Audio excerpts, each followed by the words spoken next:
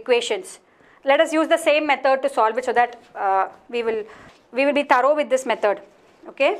So again, uh, remember the diagram.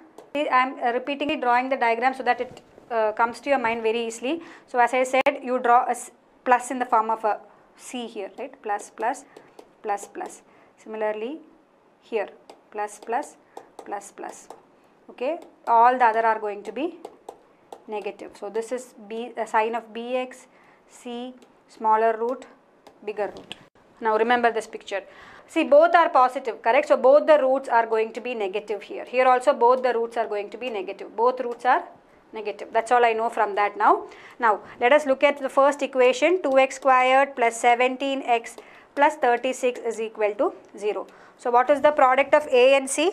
36 into 2, correct? 36 into 2 that is 36 into 2 that is equal to 72. So now I need two numbers whose product is 72 and whose sum is 19. Wha- Very easy. What are the two numbers? No, 19 illa 17, not 19, 17. So uh, product of two numbers is 72, sum of the two numbers is 17. So what is the only possible numbers that can come? It is 8 and 9, correct? Now here you know uh, again here the coefficient of x squared. What is the coefficient of x squared? It is 2. So do 8 by 2 and 9 by 2. So 4 and uh, 9 by 2 let it be like that itself 4 and 9 by 2.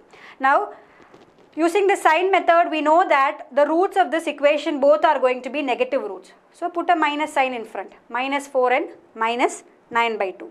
Okay so those are going to be the roots of this quadratic equation. Now next look at the next equation uh, y squared plus 21y plus 108 is equal to 0.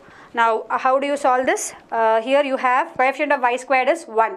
So you need two numbers whose product is 108 and their sum is 21.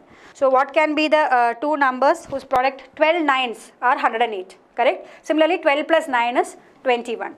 So what are the two numbers? The two numbers are going to be 12 and 9. Now since the coefficient of the y square term here is 1, just divide these two by 1 or just take them as such. 12 and 9 are going to be your roots and their sign is going to be negative. So negative 12 and negative 9 are your roots. So very clearly what can we see is that these two roots, no, they are definitely greater than these two at any point of time. So I can say that x is greater than y, that is option E. Yes.